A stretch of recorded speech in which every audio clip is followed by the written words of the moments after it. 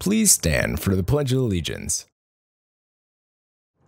I pledge allegiance to the flag of the United States of America and to the Republic for which it stands, one nation, under God, indivisible, with liberty and justice for all. Please remain standing for a moment of silence. Thank you. You may be seated.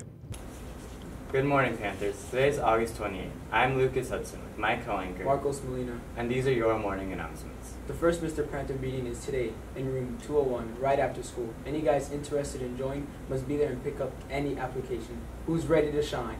Grade level orientation is today and Friday. Today, sophomores will attend during their fifth period. Se- Juniors will attend during their second period on Friday. Club Leadership Day will be held on September 4th from 2:30 to 4:30 in the auditorium. All club presidents, vice presidents, secretaries, and treasurers must attend.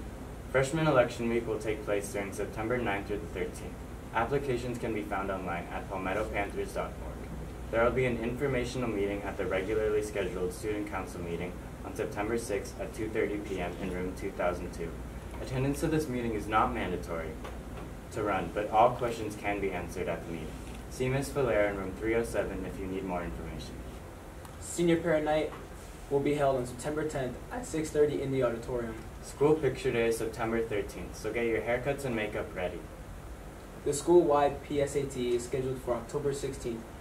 Make sure to listen for further information regarding sign-up and payment. Remember that Palmetto is a school ID required school. Make sure to keep yours visible and wear it every day.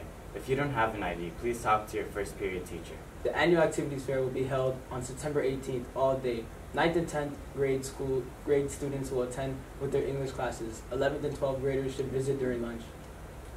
On Thursday, August 29th, there will be a blood drive in the auditorium. You must be 17 with parent consent or 18 years of age. Donors will receive community service hours, lunch, a lunchbox, and pizza. Forms can be picked up in room 302 at any time. That's all the news we have for today, Panthers. Have a great day.